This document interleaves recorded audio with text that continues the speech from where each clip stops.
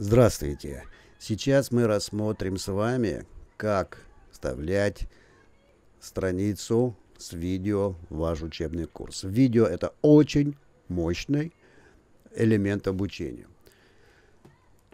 Включим для начала режим редактирования. Вы хорошо знаете, что такое редактирование. Эта возможность есть только у преподавателя. Следующий шаг.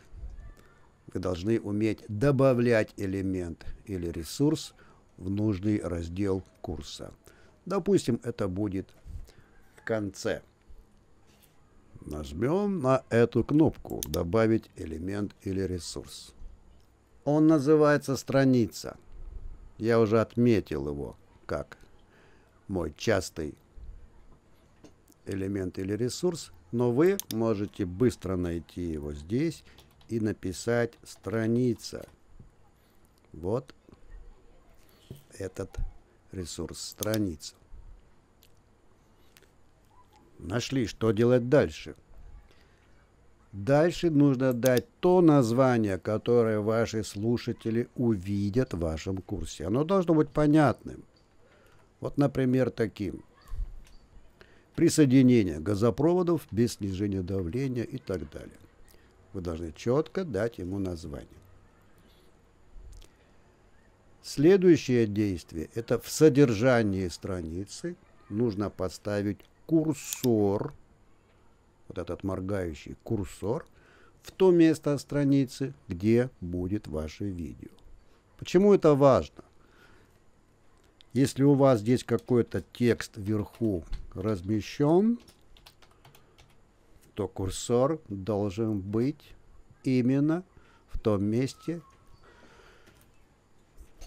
где после текста будет показано это видео. Итак, курсор. Но можно и без текста. Следующий шаг – это знать кнопку под названием «Вставить или отредактировать видео.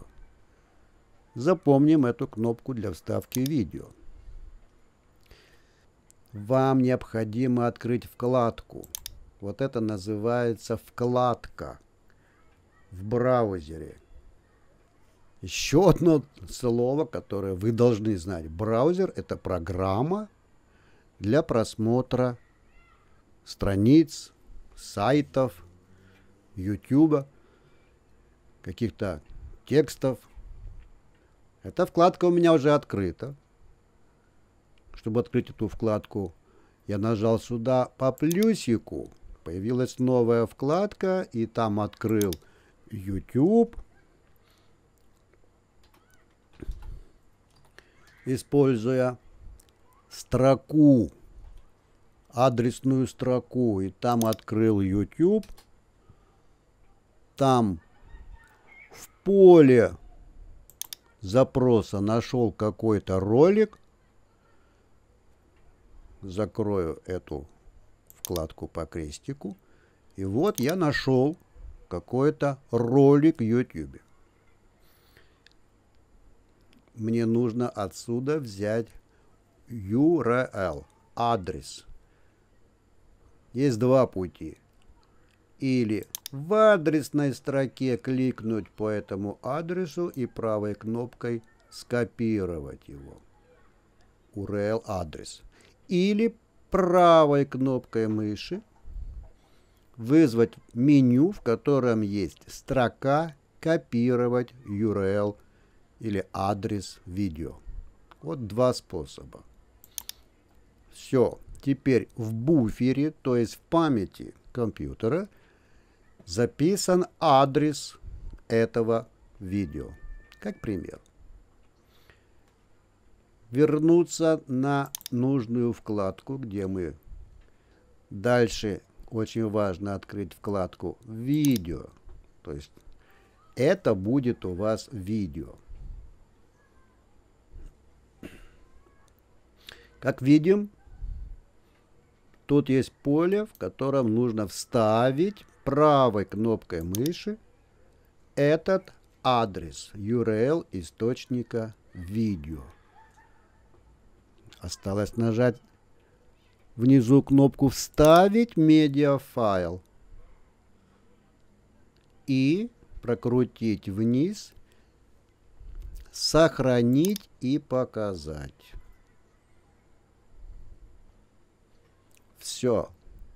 Теперь, если страницу с этим названием откроет ваш слушатель, он увидит этот прямоугольник с треугольной кнопкой для воспроизведения видео. Что еще здесь важно отметить? Вот эта вот кнопка вызывает блоки, один из них настройки. Есть и другие блоки. Вот блок настройки позволяет редактировать настройки вашей страницы.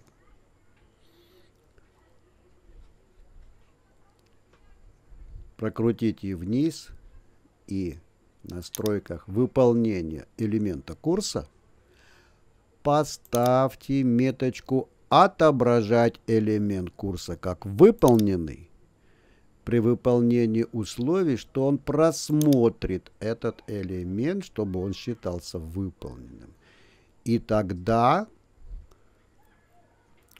вы, как преподаватель, будете знать, смотрел он это видео или нет. Кнопка «Сохранить и показать» покажет вам страницу, которую вы подготовили. Кнопка «Сохранить и вернуться в курс, курсу» сохранит вашу страницу и вернет вас в ваш курс. Проверяем. Вот страница, которая была создана ее название и ее содержание. И вот этот прямоугольничек, который покажет, смотрел этот ресурс обучаемый или не смотрел. Просмотрите это видео еще раз и повторите в своем курсе, и все у вас получится. Спасибо за внимание.